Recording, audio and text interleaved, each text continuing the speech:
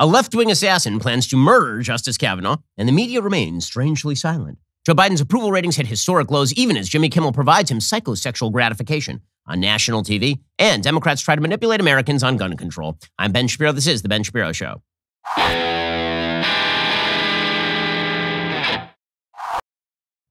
Today's show is sponsored by ExpressVPN. Do you like your web history being seen and sold to advertisers? No?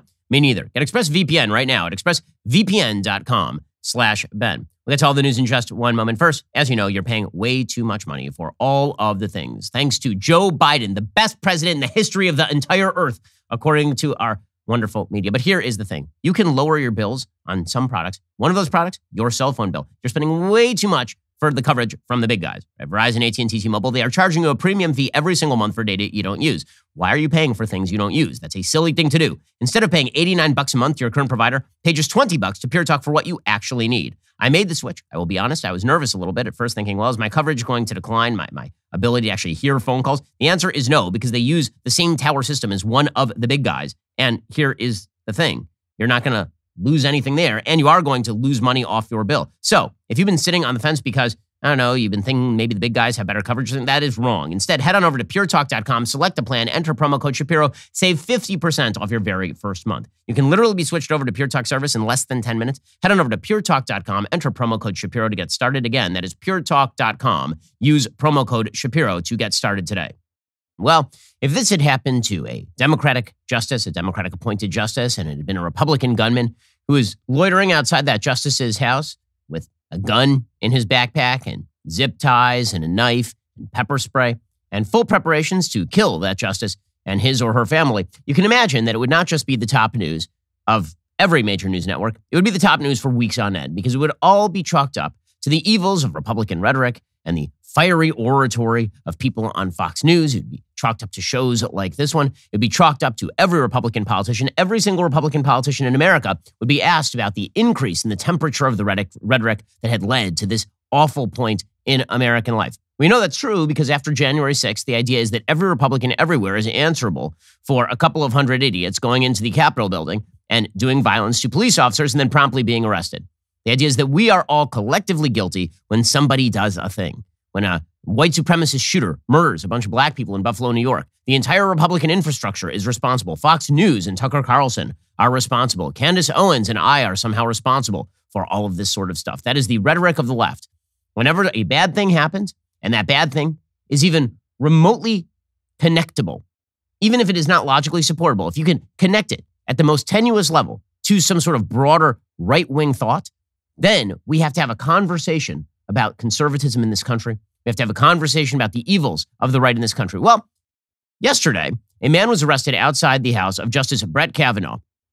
He was arrested because he was fully intending to kill Justice Brett Kavanaugh, and he was armed and ready to do so. The only reason that he did not carry out his plan is because there was armed security outside Justice Brett Kavanaugh's house. Yet another reminder that armed security is a good thing wherever you have vulnerable people.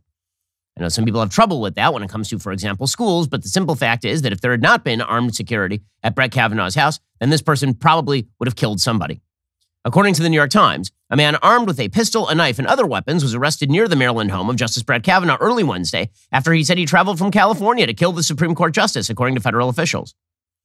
This particular offender, and again, I don't mention the names of people who are seeking attention like this on this show, unlike most other legacy media outlets, which spend inordinate time blowing up the name, picture, and profile of political terrorists in order to presumably create copycats, or at least without regard as to whether they create copycats. We don't mention the names of people like this on this particular show. He was charged with attempted murder after two U.S. deputy marshals saw him step out of a taxi cab in front of the justice's house in Chevy Chase, Maryland, early on Wednesday morning, according to federal prosecutors. This particular attempted murderer was dressed in black, carrying a suitcase and a backpack, according to a federal affidavit. Inside the suitcase and backpack, the authorities discovered a black tactical chest rig and tactical knife, a pistol with two magazines and ammo, pepper spray, zip ties, a hammer, a screwdriver, a nail punch, a crowbar, a pistol light, and duct tape, in addition to other items, according to the affidavit. According to the affidavit, his plan was to break into the house, kill the justice, and then kill himself. And his motives are perfectly clear. His motives are perfectly clear because he told the police his motives. He said he was upset about the recent school shooting in Uvalde, Texas, which, by the way, that, that is definitely the proper solution. You're upset about a mass school shooting. So your plan is to kill a justice and maybe members of his family if they stumble upon you. He was also upset about a leaked draft of a Supreme Court opinion suggesting the justices were poised to overturn Roe versus Wade, the landmark 1973 pro abortion decision by the Supreme Court. Now, we said at the time that leaking prospective Supreme Court draft decisions is extremely dangerous. I said this at the time. I said the day this happened, it put justices' lives in danger because before that decision is actually released, that means that the vote is not actually official. And so if you are a crazy person and you wish to shape the course of future American history, maybe you try to kill one of the justices.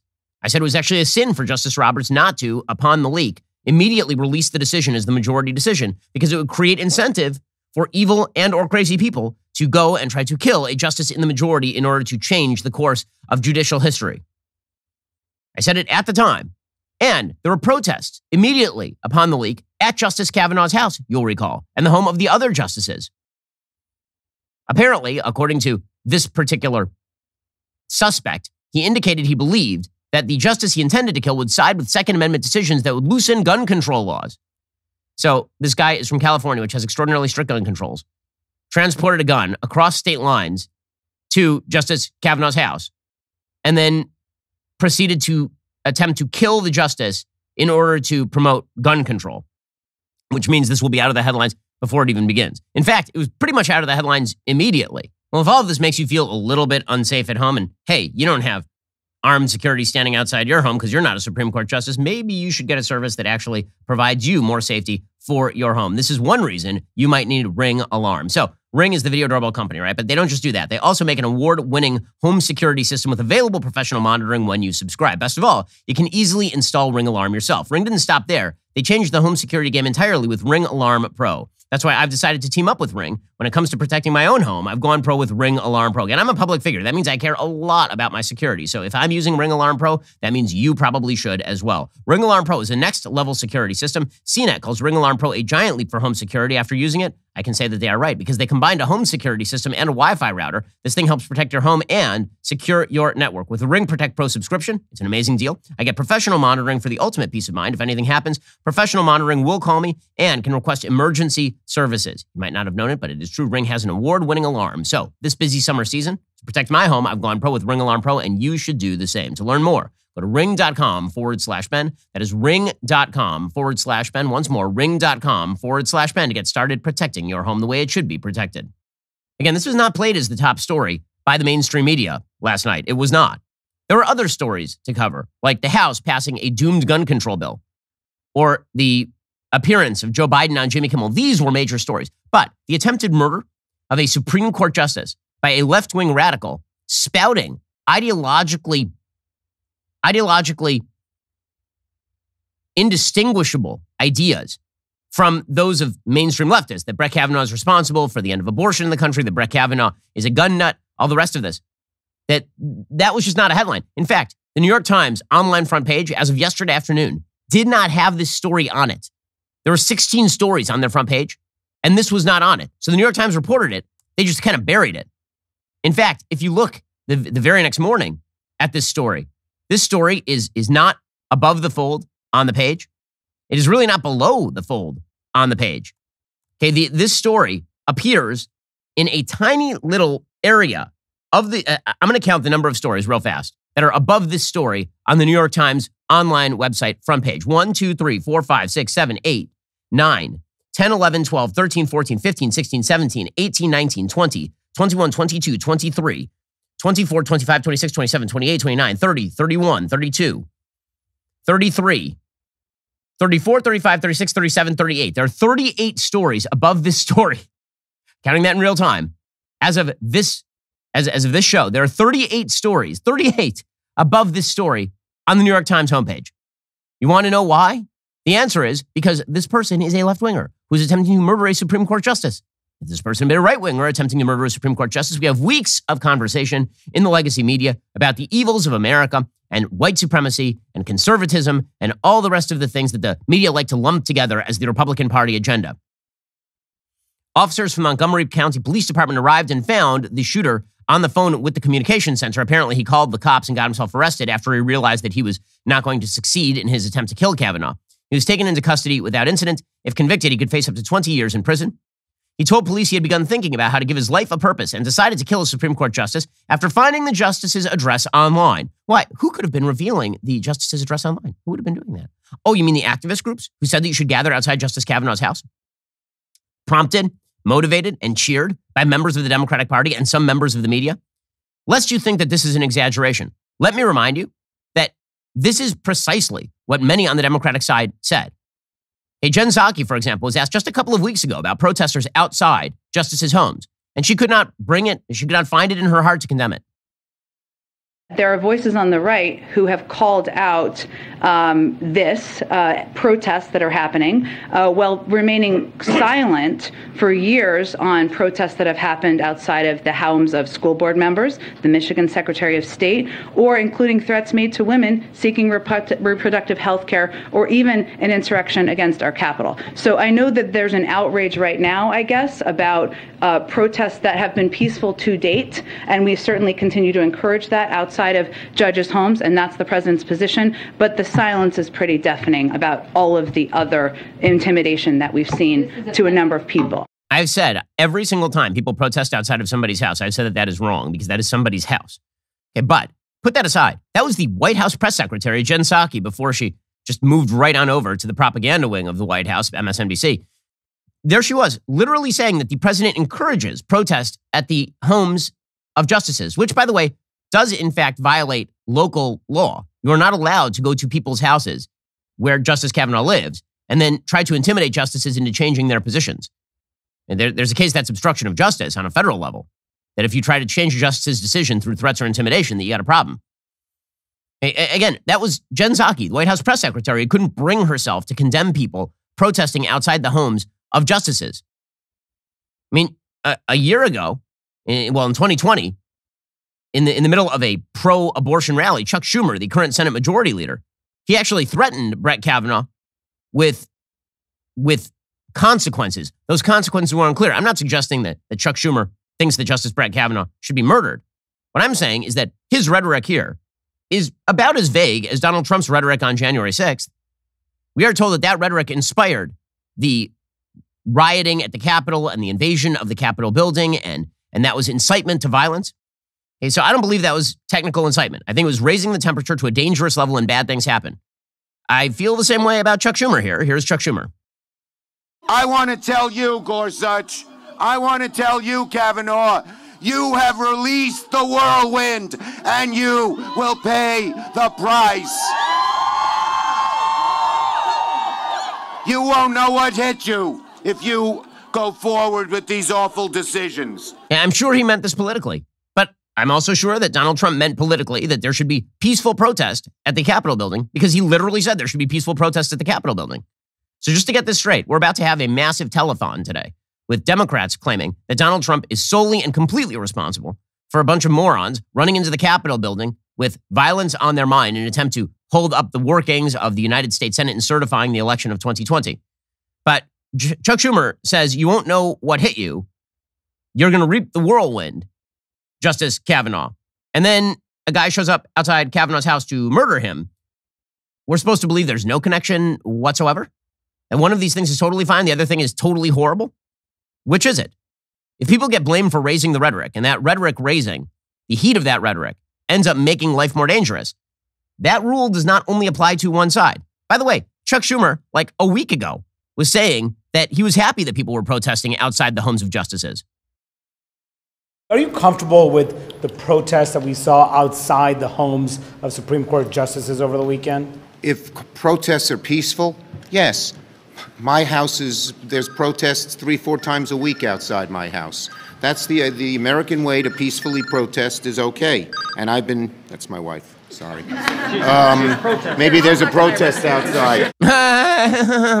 if it's peaceful, it's totally fine. Well, once again, if the mark of it's okay to say it is say peaceful protest and then everything is fine, then not sure what you're bitching about Trump for, considering that Trump literally said peaceful protest outside the Capitol. Now, I've said before, I think that Donald Trump raised the rhetoric on January 6th. I think that he said a lot of things that were false between November 4th and January 6th that raised the prospect of bad things happening. But the same thing is true here. If you say go protest outside of justice's home, when again, protesting, like protesting justices should not be a thing generally, considering they are lifetime appointees who are supposed to be insulated from the political process for purposes of interpreting, not manufacturing the Constitution of the United States, then I'm, I'm not sure how we're not supposed to make the connection. But the answer is we don't make the connection if we're the legacy media, because after all, this is a left winger and these are left wing people. And so we have to pretend that they are all good and wonderful and fine.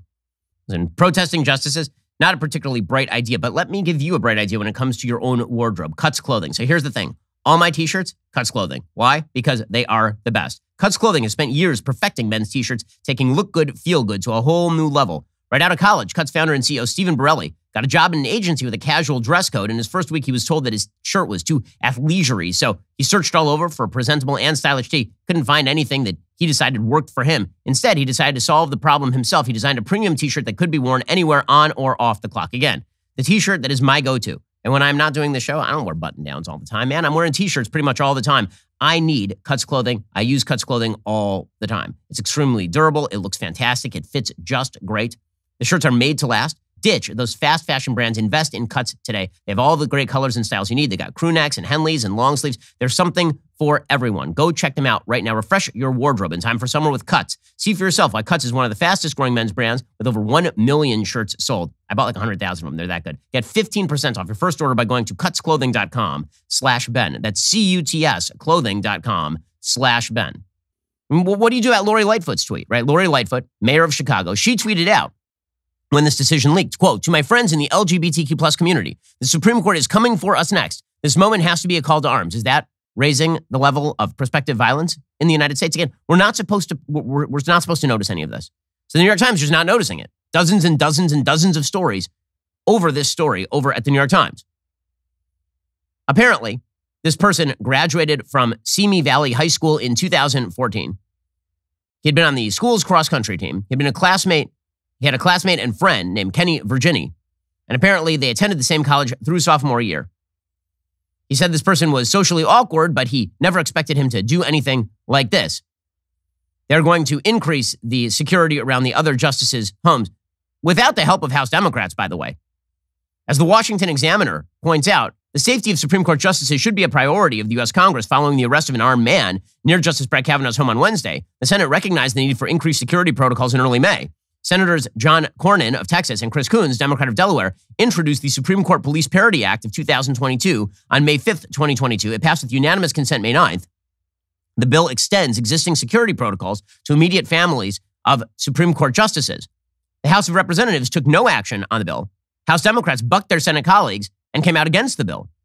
While the Senate passed a bill this week that would extend protection to Supreme Court justices' family members, we believe that it is critical to safeguard the families of those who choose to serve their country and their communities as judicial clerks and staff, as well, said House Majority Leader Steny Hoyer in a May 12th press release. Amending the current piece of legislation or introducing a new one altogether should not take a month. The original text is two pages. House Democrats continue to drag their feet. And meanwhile, of course, I'm just going to remind you the media were fully happy with protests outside Supreme Court justices' homes, they were in favor of the intimidation. They're in favor of the threats. And here is CNN's Laura Jarrett defending protests outside justices' homes.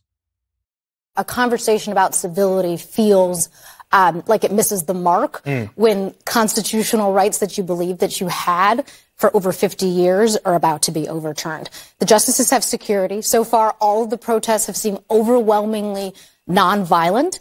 Uh, there are plenty of protests that happen every single day in this country, around the country, at abortion clinics, blocking women from getting into clinics.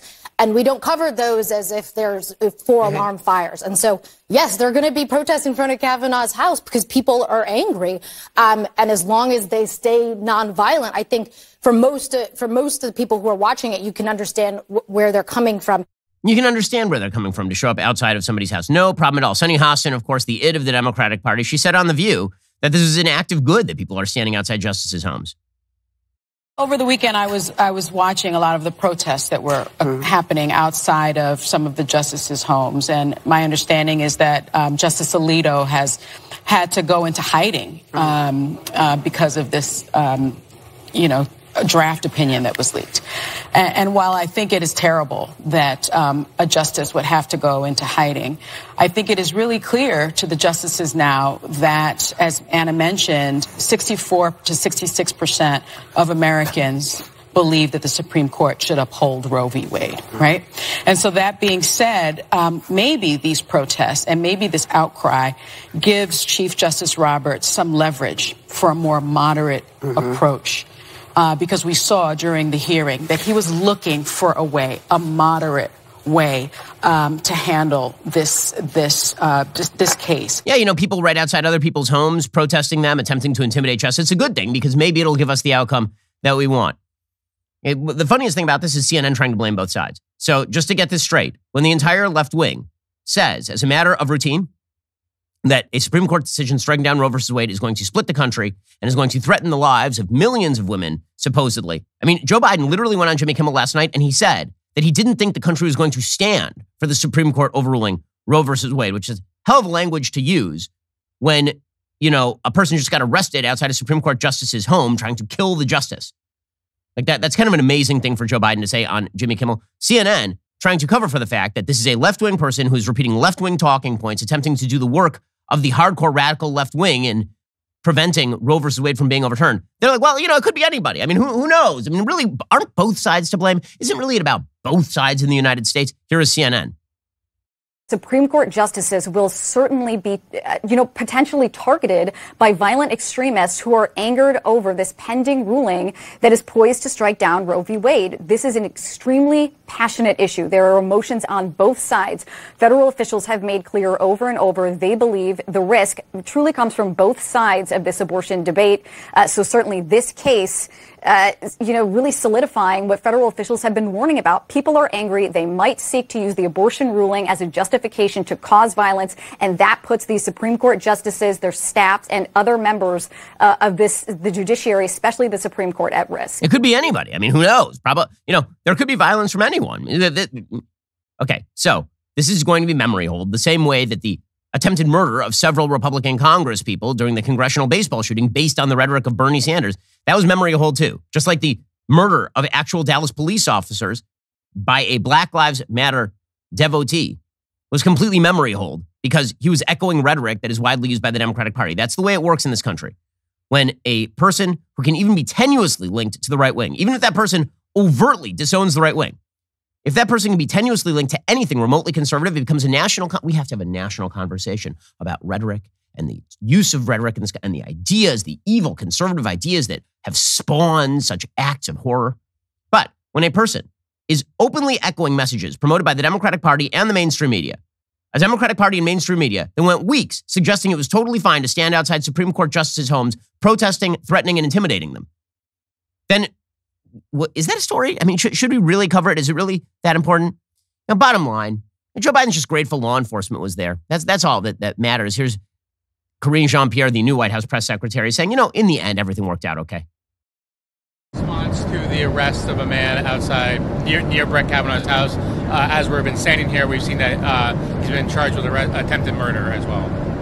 So uh, the president condemns the actions of this individual uh, in the strong terms and is grateful to law enforcement for quickly taking him into custody. As the president has co- consistently made clear, public officials, including judges, must be able to do their jobs without concern for their personal safety. Oh, is, is that what he's made clear? You know, via his last press secretary, who, as we just saw one second ago, was saying that it's totally fine to protest outside justices' homes. After all, they're protesters outside abortion clinics.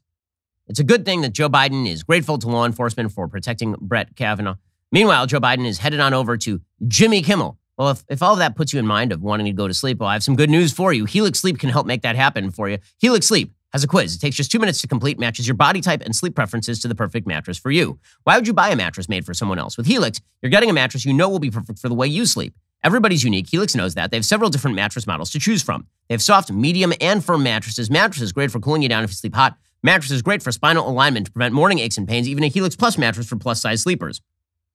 I took the Helix quiz. I was matched with a model that is firm and breathable because that is what I need. I tend to heat up at night, so I need a, a, mattress that keeps me cool. Also, my back aches if the bed is too soft. Helix knows that, so they sent me a mattress made just for me. If you're looking for a mattress that is made just for you, personalized to you, take the quiz, order the mattress you're matched to. The mattress comes directly to your door, shipped for free. They've got a 10 year warranty. Can try it out for 100 nights risk free. They'll even pick it up for you if you don't love it, but you absolutely will. Helix has financing options, flexible payment plans. A great night's sleep is never far away. Helix is so good that I didn't just get this mattress for myself and my wife. got it for my parents, got it for my sisters. Helix is offering up to 350 bucks off all mattress orders and two free pillows for our listeners right now, which is a fantastic deal. This is their best offer yet. Hurry on over to helixsleep.com slash Ben to get started. And speaking of the President of the United States, he was deployed to Jimmy Kimmel last night. That's because the only person you will sit with if you're Joe Biden is the late night host who is going to provide you NC 17 rated favors. You need Jimmy Kimmel strutting on there in there telling you that he's your private dancer, your dancer for money. He'll do what you want him to do. That's the only way that Joe Biden sits with him. There's a reason for that. His approval rating is currently at historic lows. He has the he's reached new lows according to Morning Consult. The latest survey finds 58% of voters disapprove of Biden's job performance, 39% approve. It marks the 46th president's lowest approval rating and highest disapproval rating in 62 weekly surveys since he took office in January 2021. For comparison, Biden's latest numbers are worse than Donald Trump's were at this time four years ago, when 45% approved and 52% disapproved. Joe Biden is at 39, but is he not, he's not just worse, he's six point worse than Donald Trump, the worst president in American history, was at this time in his presidency. Biden's popularity or lack thereof mirrors Trump's standing in June 2020, which was the middle of the COVID pandemic and the BLM riots. Apparently, 37% of Democrats strongly approve of Joe Biden's handling of the job. That is a horrible number. okay, they're saying that that you know there's a the Republicans strongly disapprove of Joe Biden's job handling by an 80% to 20% margin. 37% of Democrats strongly approve of it. 30, like that's a horrible number. That is a horrible number. Okay, so that means that Joe Biden has to somehow try to rescue his presidency. He's not going to do it by talking to, you know, actual reporters, even the ones who are likely to provide him with light massage services, shall we say. Right, you know, the people at the New York Times and the Washington Post, Reuters, the AP. According to Alex Thompson, White House reporter and co-author of Politico's West Wing Playbook, Biden has not done an interview with any of these outlets. The New York Times' Peter Baker said, I can't think of a parallel situation. It's the fifth president I've covered. This is the first one I haven't interviewed. They feel neither the obligation nor the opportunity. Baker added the best White House reporting often isn't the result of interviews with the president, but that extended sit downs remain an important function of accountability. He said, reporters whining about not getting interviews is one of the least attractive elements of the White House press corps. But the president talks about defending democracy, and that's part of democracy too, answering questions from people not on your side. I mean, he won't even answer questions from people who are pretty much on his side, like Peter Baker of the New York Times. Instead, he sits down with Jimmy Kimmel, who, again, is there to provide the full spectrum of sexually pleasurable services to the President of the United States. I mean, eh, eh, how in the pocket of the Biden White House is Jimmy Kimmel? He literally uses the word we to describe the agenda of Joe Biden, as in he and Joe Biden have the same agenda. This is Jimmy Kimmel last night on ABC. I think a lot of Democrats are frustrated because, you know, we got out and voted. Um, we won the House, the Senate, um, the White House, obviously, and still uh, we have had made very little progress as far as I'm concerned when it comes to guns, obviously, uh, reproductive rights, voting rights, climate change, the, all these things. And in some ways, we've, we've moved backward. We. A lot of we there. A lot of we there from Jimmy Kimmel. That's why Joe Biden is there. I mean, he's got Jimmy Kimmel here providing massage on his second chakra, and the man still can't get it together. It's absolutely unbelievable. It really, it, it, it, it's crazy. And Jimmy Kimmel is there to provide him with all the services his heart could desire, and he's still having a, a biological response problem. Okay, so Joe Biden shows up. He's trying to rescue his presidency. And pretty much all he has is a bunch of incredibly divisive talking points. And his face begins to babble. That's that's pretty much what he has. He has a face hole that spews nothing, except for some warmed over slogans. It's what he what he says is not just like warmed over rhetoric. It's like take the turkey out from Thanksgiving two years ago and try to defrost it rhetoric. It's not rewarmed. It's defrosted from the age of the, the age of Dwight Eisenhower, his rhetoric. Okay, so so here is Joe Biden calling Fox News the Death Star. Okay, can I just point out here? Joe Biden won 81 million votes, minimum, right? He won. How many votes did Joe Biden? What was the final vote count? Final vote count in 2020 was that Joe Biden won approximately 81, uh, 81 million votes. The, the total Fox News viewership, like on their best shows, is maybe 4 million. Like they blow it out 4 million. But apparently, Fox News is a threat to the Republic. He, he actually calls Fox News the Death Star. So you have the President of the United States, the most powerful person on earth, a man who's been running for this office, Joe Biden, since he was in diapers. And here he is explaining that Fox News is the threat to the Republic. Maybe it's just that Americans aren't as knowledgeable as they should be, or maybe there's a uh, a, a, Death Star pumping false information into our Fox, brains, right? Or yeah, or maybe.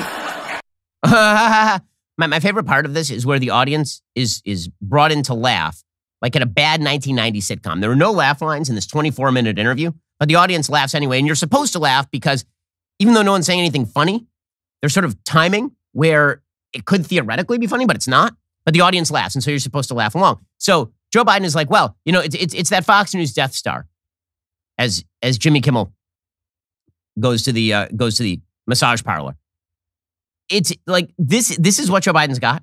No wonder he's at 39% approval rating. Then Joe Biden joked about sending his political opponents to jail, which is always a charming feature of this presidency. Remember that time when we were told that Donald Trump was a threat to the free press? Donald Trump was a, when he talks about that, he said, enemy of the people about the press. This means the press are under deep and abiding threat. Jim Acosta is going to record books written by Jim Acosta in Jim Acosta's own voice while staring in a mirror, looking at Jim Acosta, talking about how oppressed he is in an air conditioned studio in Washington, D.C., because the press were so under the boot of Donald Trump for saying mean things about the press. So Joe Biden says Fox News is the Death Star, and also his Republican political opponents should metaphorically be put in jail. If we do the same thing they do, our democracy will literally be in jeopardy. Well, I mean, yeah. not a joke. And I, I, understand their argument, but also it's like you're playing Monopoly with somebody who, you know, won't pass go and won't follow any of the rules. And how do you ever make any progress if they're not following the rules? We well, got to send them to jail, uh, you know. It's it's it's all a metaphor. Jimmy Kimmel. it's it, it's absurd. Just just again another note. Yesterday, Matthew McConaughey was at the White House talking gun control. The president of the United States was chuckling it up with chuckles over here on late night TV. I mean, and it was just all laughs. It was a barrel of laughs between Joe Biden and Jimmy Kimmel. Joe Biden suggested that the only time that he would ever call President Trump is to flush sensitive documents. I mean, it does make sense that Joe Biden does need somebody else to help him flush the toilet. That's the only part of this that actually makes any sense. With the President of the United States, um, just a just a process question. When you have sensitive documents that you need to flush down the toilet, do you do that? Is, he, is that done in your office toilet, or is that done in the bathroom in the personal bathroom area? Oh, I call Trump. Uh, Joker grin, uh, rictus grin from from Joe Biden. Again, the man does need help every time he goes to the bathroom, so that, that is not a particular surprise. And herein lies the biggest problem for Joe Biden. I mean, the biggest pro- one of the biggest problems, obviously, is that he's got an echo chamber of a media who keep encouraging him to double down on progressive stupidity that the American people are not interested in. That is actually a huge problem for him. The other big problem is that the man's got applesauce for brains. The hamster wheel is moving, but the hamster's dead. That elevator don't go to the top floor. Here's, here's Joe Biden trying to explain that the biggest problem he has is that he is unable to fully communicate his ideas in the best possible way, and we need to do a better job of communicating in the Shambadu. Here we go. No so, question. So there's a it. lot of major things we've done, but what we haven't done is we haven't been able to communicate it in a way that is uh, um, let me say another way. Well, see, that's kind of perfect. Yeah, well, we haven't been able to communicate but it. look how the press has changed. Mm-hmm. Look how the press has changed. It has changed. Oh, listen, it, I, I, get it. I know you get you overstand it. Yeah. You don't just you understand it. You overstand you it. Understand it. but here's the deal. Here's One the deal, of the Jack. things is that it's very difficult now to have a. He's lost. He's gone. Um, yep. even that look in the eyes. With, with, notable exceptions, even the really good reporters, they have to get the number of clicks on on the on nightly news. Mm-hmm. You can't get so a click instead on of asking a question. Anyway, it just Anyway, everything gets uh, it's just Jack. gets sensationalized. Pony in boy. ways that, but I'm convinced we can get through this. We have to get through it. And one of the things, look, I'm going to take a break, and then we'll talk a little Oh bit my God! about mine. And Jimmy Kimmel comes in like that night nurse and starts wiping Joe Biden's ass. He's like, I, I you know, I, I know this is awkward, sir. You're the president of the United States, but we definitely need to go to this kibble commercial over here. Like, they, I, I'm sorry, I can't let you struggle like this. That is a masterpiece. That clip is just that clip is everything. That is a man who could not spill urine out of a boot if the instructions were written on the on the sole of the boot. Like if they're written on the bottom of the boot, there's no way that man could pour urine out of the boot. That that president of the United States. That is that is wild. I, I got to play it again. I'm sorry, I have to play it again. We need to break this down because I want an actual chart of where he goes. You can see him in real time, and again, the the the, the light may be on in the attic, but there is nothing but a cold corpse up there. It is wild. He starts off by again. I I never I rarely play a clip twice on the show, but I have to here because it just demonstrates that this person is not there. He is not there. And I know Democrats have to be panicking watching this. He's on late night TV with a person who is dedicated solely to providing him Lewinsky like pleasures. And he still cannot make it happen. He just can't. GetRoman.com, man. This is, it's just, it's insane. Here, here is Joe Biden. We're gonna, I'm, there are gonna be some stops and starts here, guys, because I need to try and follow what, what this man is saying. We're gonna go down a wander among the heather in, in Scotland here with Joe Biden. No so, question So there's about a it. lot of major things we've done. But what we haven't done is we haven't been able to communicate it in a way that is, uh, um, let me say another way. Hey, Well, stop. see, that's Okay. We haven't been able to communicate in a way that is, you know, words. Uh, uh, in, let's say, uh, uh, in, um. Yeah. Continue. kind of perfect. Yeah, Well, we haven't been able to communicate But it. look how the press Even Jimmy Kimmel's like, this is bad.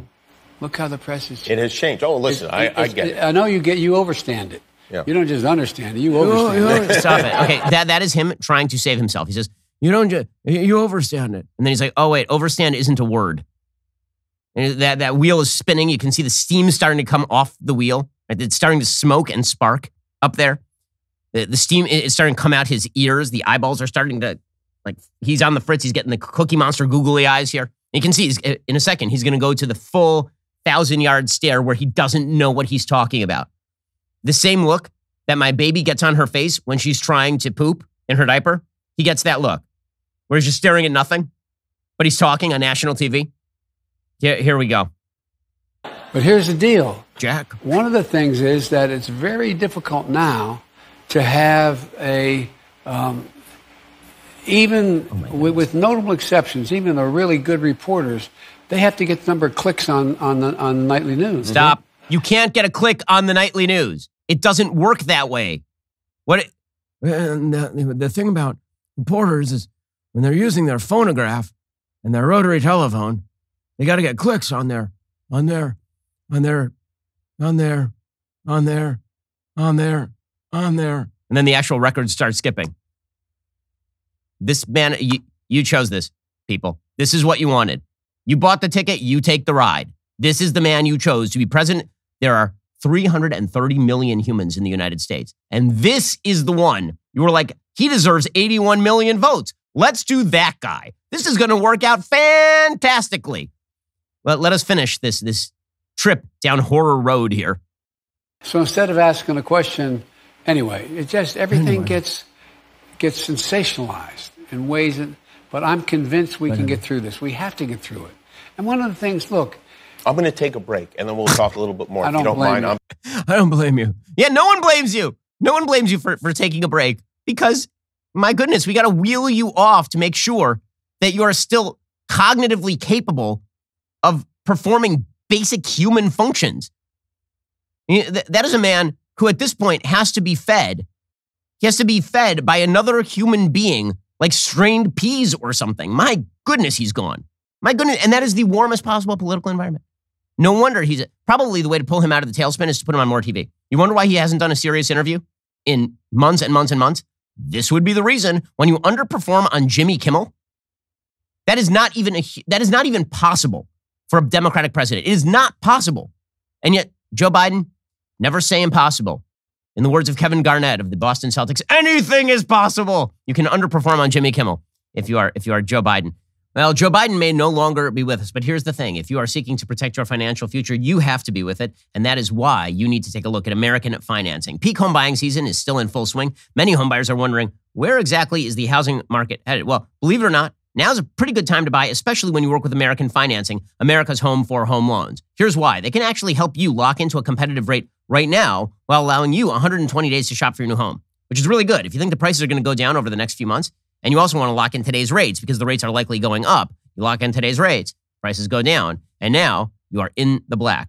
This way, you don't have to worry about rates rising. You can expect to get a custom loan and fast closing. Plus, you never have to pay upfront or hidden fees. I'm telling you, it's worth at least a 10 minute phone call to learn more, especially because home values are still looking really good right now. Many markets are up 20% or more. That means your investment could pay off quickly, setting you up for a healthy future. Learn more today with a free loan consultation at 866 721 3300. That is 866 721 3300 or visit AmericanFinancing.net. NMLS 182334, NMLSConsumerAccess.org. Go check them out today. 866 721 3300. That is 866 721 3300 to get started at American Financing. Alrighty, folks, you made What is a Woman a massive success. We're talking about the top documentary in America. It is the most streamed documentary in America right now. It also has zero reviews from the reviewers because they're just going to pretend it doesn't exist. But you know that it exists because over 2,500 of you have rated it over at Rotten Tomatoes. It's got an audience score of 97%. Everybody is talking about this film because it's completely changing the conversation about transgender ideology and radical sexual orientation nonsense from the left. This is a conversation changer. It's a conversation starter. It's a vital, vital film. Most of the people who say they hate the film have never seen one moment of it because obviously they can't actually answer Matt's question what is a woman? They could stop all of this by answering the question. They're not doing so. That shows you something. Here's the thing all of this is possible because of you. Our members make this possible. A lot of other corporations, they have hundreds of millions of dollars in public financing at their disposal because they're publicly traded companies, or they've got angel investors who come in with hundreds of millions of dollars. Not us. We operate from your membership, which is why we need your membership. Head on over to whatisawoman.com, become a member, watch the film today. It's totally worth it. And I've, I've gotten so many comments from hundreds, probably thousands of people at this point talking about this film. It's a quality piece of content. And guess what? We have so much more coming for you this month. When you subscribe, you're going to get so much great stuff. I'm talking about Gina Carano's film, and we've got a documentary that's coming out from Candace Owens. We have some huge announcements later this month. Eh, this is all just the beginning over at Daily Wire. Please join us. Whatisawoman.com. Become a member today. Watch the film. You're listening to the largest, fastest growing conservative podcast and radio show in the nation.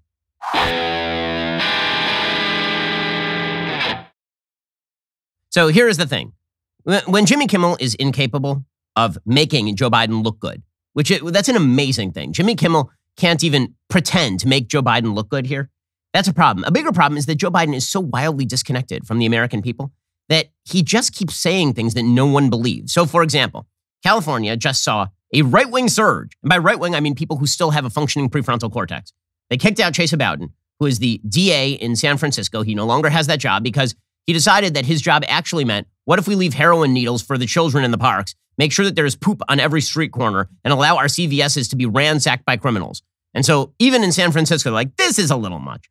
And in LA, it appears they might actually elect a closeted Republican mayor of the city because it turns out that Americans don't like the crime program of the Democrats. So Joe Biden's response to this is, well, you know, both parties are responsible for the crime wave in the United States. Oh, are they? That one's got that dog's going to hunt probably. Here is Joe Biden on the tarmac at what appears to be Burbank Airport. I think the voters sent a clear message last night. Both parties have to step up and do something about crime as well as gun violence. That's and your takeaway? As you recall, with the first major bill we passed, we gave the states and localities billions of dollars, billions of dollars to have, and encourage them to use it to hire police officers and reform the police department. So his take is both parties are getting chastised on crime. That that's his take. That's his take. Because here's the thing: literally yesterday, Joe Biden has a sentencing commission nominee. And her name is Laura Mate. And um, she was asked about mandatory minimums. This was yesterday, the same day he's saying both parties need to worry. Both parties need to rambadoo about worrying in the, in the Jan Simbadi and in the crime. Meanwhile, his nominee for the Federal Sentencing Commission is being asked about mandatory minimums. And she's like, well, I'm not big on any sort of mandatory. Uh, do I have to answer these questions? Is there any crime for which you think a mandatory minimum is appropriate? Thank you, Senator. My understanding is this body decides whether there are mandatory minimums, and as a commissioner, my job would you be. You make recommendations. I'm asking you if you think that there's any crime, rape, I mean, for which there ought to be a mandatory minimum, because you said earlier there shouldn't be. I'm astounded by that. Thank you, Senator. if I'm confirmed, I'd like to make an informed recommendation on that after consulting. How am I going to make an informed judgment on voting for you if you won't tell me what your positions are? I I don't know if you changed them or not. It sounds like you have changed them. You signed a letter. You, you took very frankly radical policy positions, and now you won't answer me. What am I to draw from that? Senator, I, I hope that what you draw is that I'm open to listening to this diverse. No, group of I, I think what I draw from it is, is that you don't want to answer my question. yes. So that's Senator Josh Hawley questioning a current Biden nominee who refused to say whether she backs any mandatory minimum sentences for criminality at all. At all. And meanwhile, Joe Biden's like, well, both parties are getting punished for the for the crime. Really? Are they, Joe?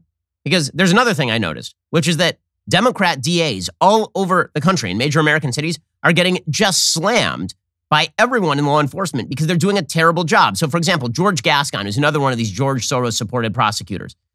I'm allowed to say the name George Soros, by the way, because I'm an Orthodox Jew, because I've been informed by the media that if you say George Soros' name, this automatically means you're an anti Semite. No, George Soros donates literally tens of millions of dollars in a wide variety of countries to push progressivism, hardcore radical progressivism that's particularly true for prosecutors in the United States. That is just a simple funding fact.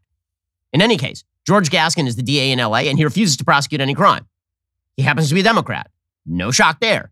Uh, here was the Los Angeles County Association of Deputy DAs VP Eric Siddall saying, yeah, this guy's a criminal's best friend. If you're a violent criminal in Los Angeles right now, your biggest ally is not your defense lawyer, it's not the judge, it's not the jury, it's George Gascon. That's who your biggest supporter is. That's the reason why criminal defendants all throughout Los Angeles County want George Gascon to give them a deal because they know that he is their biggest cheerleader. I wonder why the Democrats are having such trouble. By the way, it's at every local issue. Okay. All the local issues, Democrats are getting skunked because all the local issues have been nationalized. You have a Democratic Party that insists from the White House that if we do not mandate that small children be indoctrinated in the idea that they could be a member of the opposite sex, or that they should consider their own bisexuality or pansexuality or whatever the stupid sexual buzz- buzzword of the day is from the left, that this is a, a form of child abuse. Meanwhile, the American people are just rebelling against this. Article from the Washington Post today. Across the country, educational equity was in vogue. Then it wasn't. By educational equity, they mean left wing nonsense at the local school board level. And now it turns out parents don't like that crap. According to the Washington Post, a racial equity program that began with widespread support and was propelled by George Floyd's murder all but died on a chilly Wednesday evening in a near empty school board meeting room. During a budget debate, a pair of liberal board members were no match for the newly elected majority. The conservatives had taken office after a campaign focused on race and allegations that critical race theory had invaded the local schools, the most diverse in El Paso County. Their victory last November had already resulted, resulted in the superintendent's departure. Now the equity program he championed was on its way out too. If Floyd's murder forced many schools to consider systemic racism holding back students of color, the 2021 elections delivered a backlash. Across the country last year, school board elections became the epicenter of a culture war over race. Conservative victories led many boards to fire superintendents and curtail racial justice initiatives.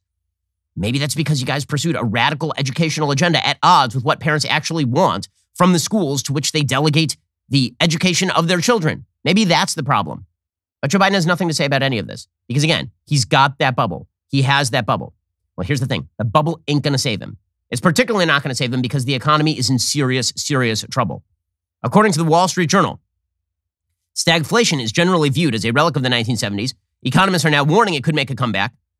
The term stagflation is broadly defined as sluggish growth tied with rising inflation. Economists haven't given it much thought since the 1970s, when U.S. consumers lined up to fill their cars with high priced gasoline and the jobless rate hit 9%. Earlier this week, the World Bank sharply lowered its growth forecast for the global economy this year and warned of several years of high inflation and tepid growth, reminiscent of the stagflation of the 70s. Stagflation spells trouble for the economy. Rising inflation erodes consumer purchasing power. Weaker demand hurts companies' profits and causes layoffs. Stagflation puts the Federal Reserve in a bind because the central bank's job is to keep both inflation and unemployment low.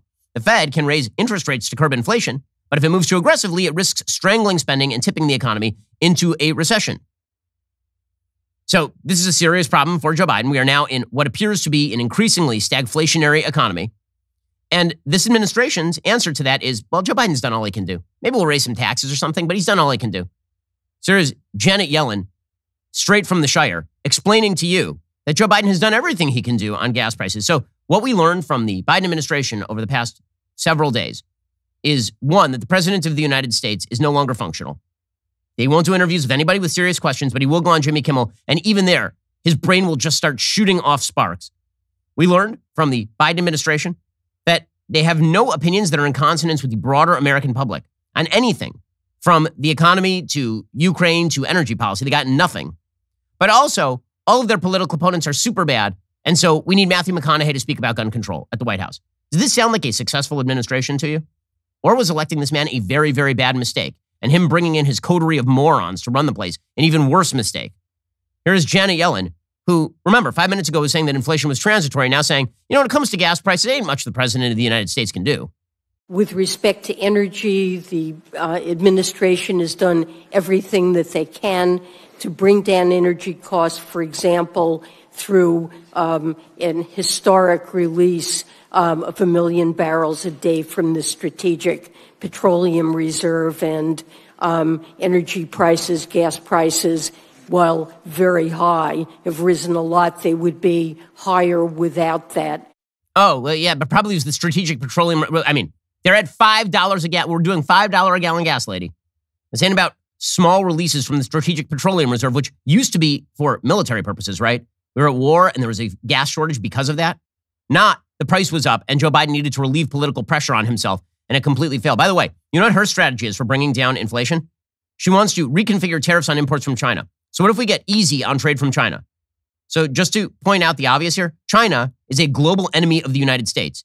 China is not just stealing our intellectual property and imprisoning a million Uyghur Muslims and keeping a billion people in the bondage of communist tyranny and spreading its military outposts around the South China Sea and making deals with the Solomon Islands to try and box in Australia.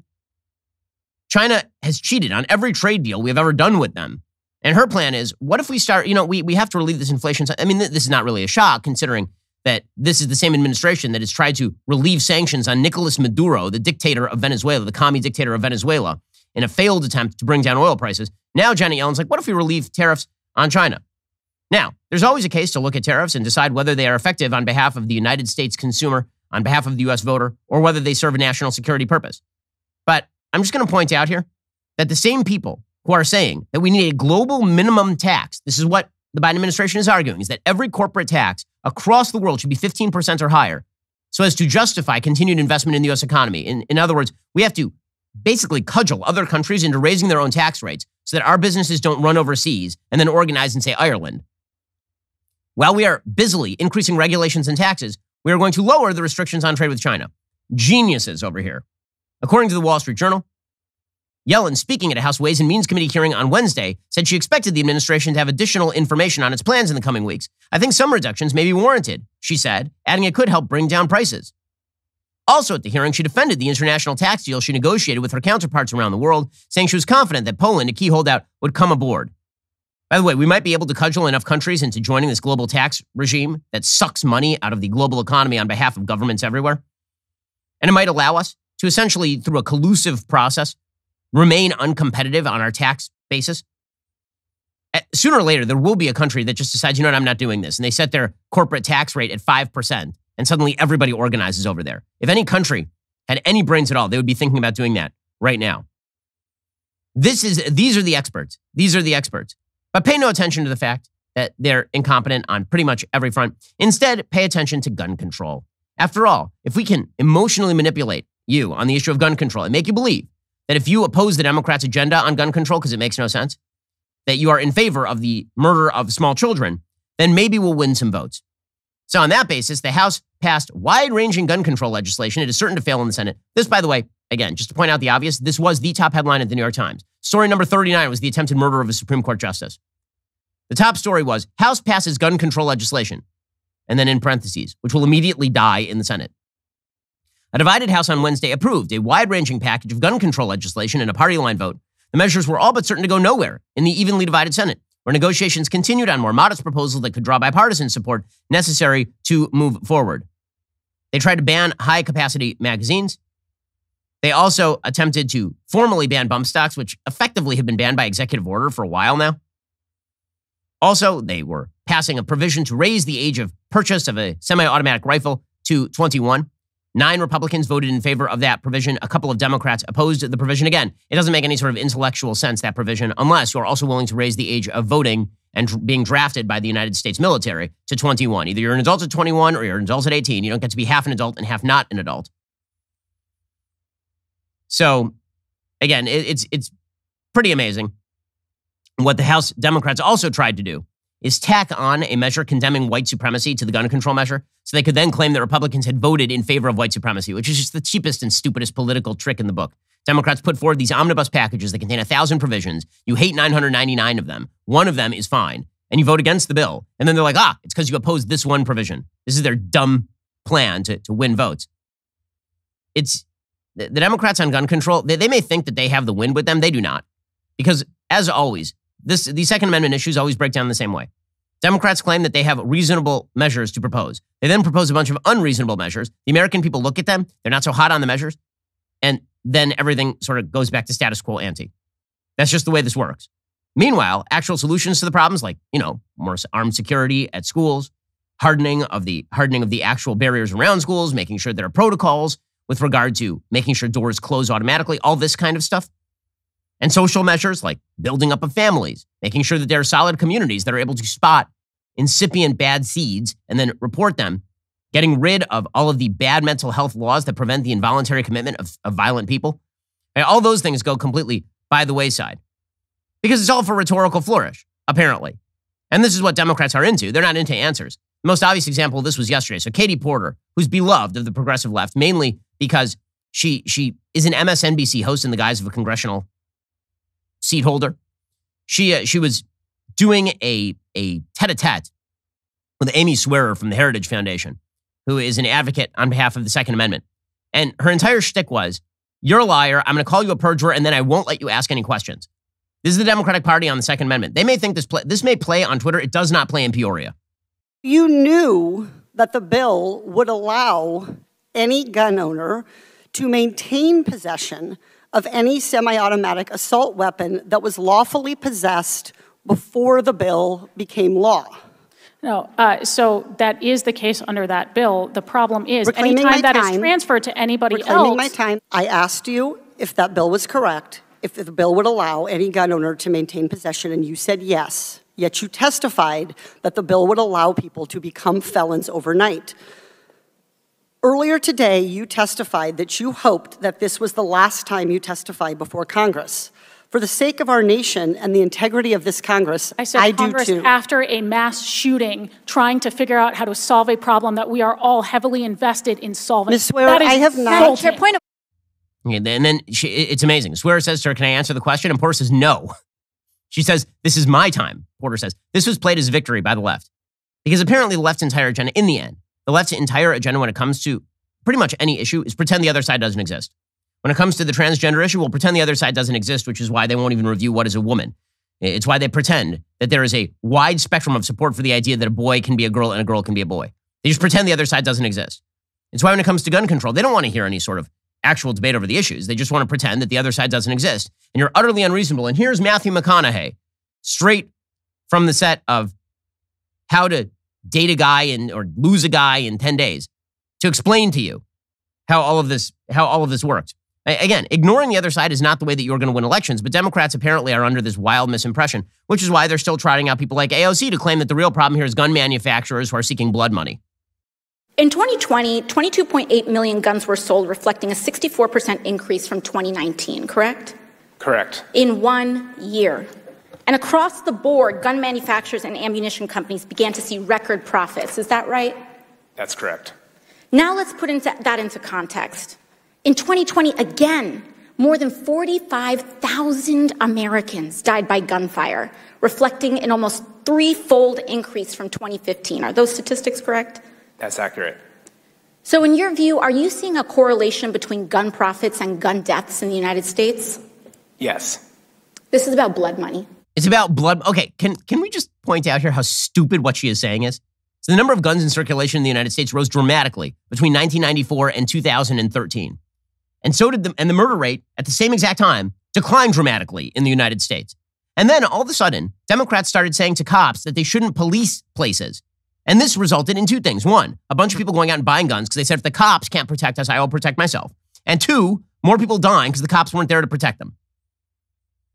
Apparently, correlation equals causation for the empty headed congresswoman from Brooklyn, New York. She is, she is just so off. But again, it's not about actually having a valuable discussion on these issues. It's about blood money. I have a question. Did the gun manufacturers not want to sell their weapons in 2007 or 2010 or 2012? Why did she think that there was a massive increase? It's amazing. Like she, she's refuting herself in those stats. Why did she think there was a massive increase in the number of guns bought in 2020? Any ideas? What could have happened in 2020 that made a lot of people want to go get guns? Could it have been an entire mass movement calling the police in the United States systemically racist and calling to defund the police and massive increases in crime that came directly from that? Huge riots in major American cities? I bought extra guns during that time. Did you? I'll bet a lot of people did. But according to her, it's because the gun, the gun manufacturers suddenly got greedy. This is always their excuse. They provide crappy economic policy. The economics of the United States turn the wrong way. They're like, ah, corporations are greedy. But I thought it was your argument. The corporations are always greedy. So that factor didn't change. But again, none of this is about anything remotely resembling a debate. It's just about stupid political gamesmanship.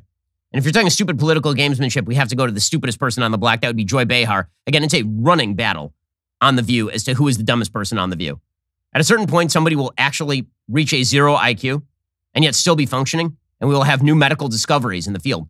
But that that that race to the bottom is ongoing. Here is Joy Behar making her case to be the dumbest person on that show. Let me give you a story. There's a man in Connecticut that watched his neighbor have a home invasion and watch his whole, their whole family get killed. He built his own AR-15 because Connecticut won't let you buy them, but you can abide by rules that allow you to build them. And then he has one in his house to protect his family because he never wants to see that happen again. He is a black man. It's odd. Most AR-15 owners are former military, okay. 35 plus Let me and say married. one more thing. So that's all I'm saying okay. is that they're yeah. not once, these crazy once, people. Okay. Here's the thing. Once black people get guns in this country, the gun laws will change. Trust me. Once she's saying this to a person of color. Once is she unaware that something like one in four black people in this country have a gun? Like lots of black people own guns. And the, the, the suggestion, of course, is that everybody who's pro Second Amendment is anti black people having guns. Nope.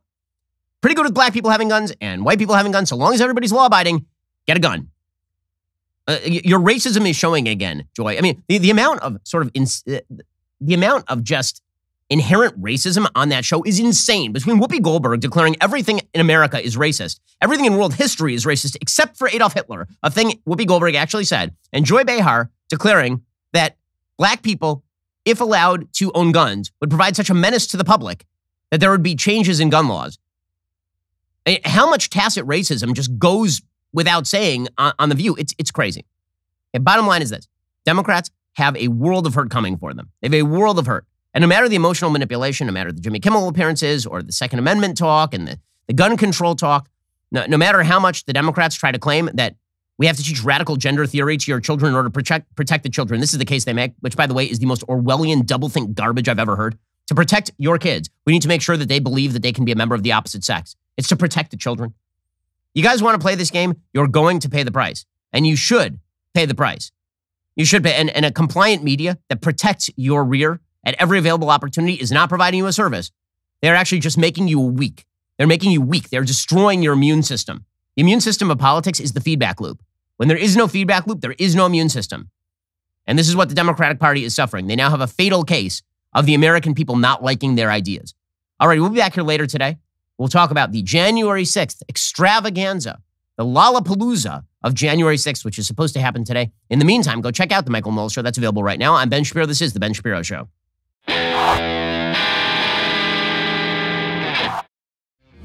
The Ben Shapiro Show is produced by Bradford Carrington, executive producer Jeremy Boring, supervising producer Mathis Glover, production manager Pavel Wydowski, associate producer Savannah Dominguez Morris, editor Adam Sayevitz, audio mixer Mike Coromina, hair and makeup artist and wardrobe Fabiola Cristina, production coordinator Jessica Kranz. The Ben Shapiro Show is a Daily Wire production. Copyright Daily Wire 2022.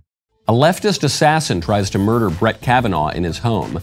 San Francisco's pro crime district attorney gets recalled. And a former Democrat congressman admits to stuffing ballot boxes in Pennsylvania to help his clients win. Check it out on The Michael Knowles Show.